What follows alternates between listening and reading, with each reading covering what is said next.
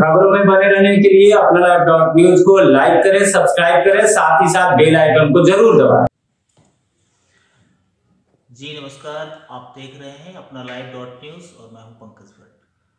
अभी मैं बेगूसराय की जनता के अंतर मन में जो चल रहा है और जो द्वंद्व की स्थितियाँ मन में उत्पन्न हो चुकी हैं, कई जगह चर्चाओं का बाज़ार भी गर्म है जब से चुनावी शंख बज चुका बज चुका है।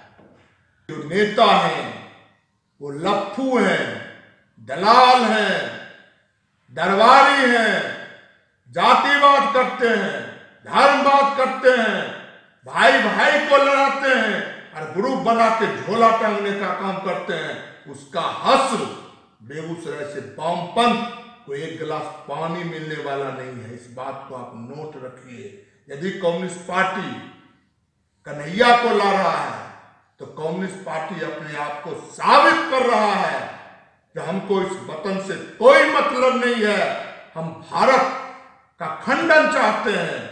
भारत टुकड़ा टुकड़ा में बट जाए। का ये सोच है, ये सोच उनको मुबारक हो। वो जैसा खेती कर रहे हैं, वैसा वो फ़सल काट भी रहे हैं। इसलिए हम कम्युनिस्ट पार्टी से भी आग्रह करेंगे।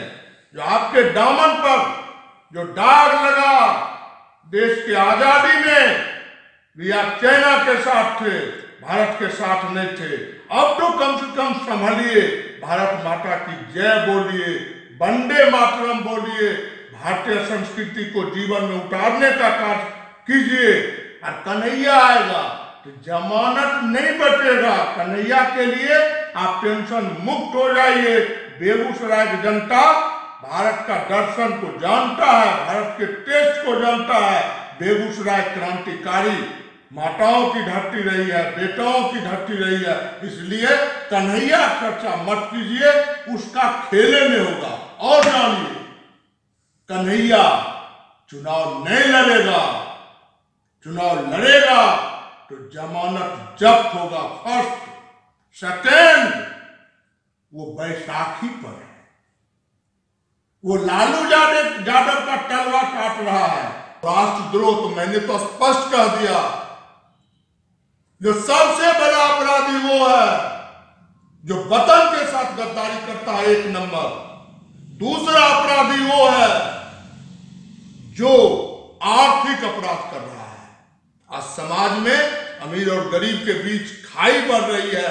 समय रहते हुए यदि समाज देश के राजनेता, सामाजिक कार्यकर्ता सचेत नहीं हुए, आने वाला समय बड़ा खराब होगा। इसलिए मैं तो स्पष्ट कह दिया, कन्हैया का जमानत नहीं बचेगा। महागठबंधन का फेराम लगल है। महागठबंधन उसको न्योता नहीं दे रहा है मीटिंग में। तभी लटकल है। हमको एक सीट दीजिए तो बेगूसराय दीजिए।